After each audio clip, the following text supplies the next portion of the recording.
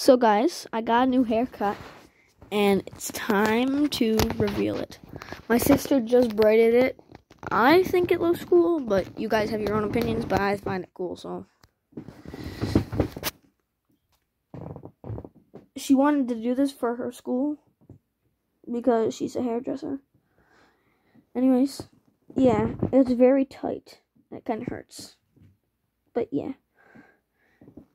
Like if you like it. Till next time, find out. Uh,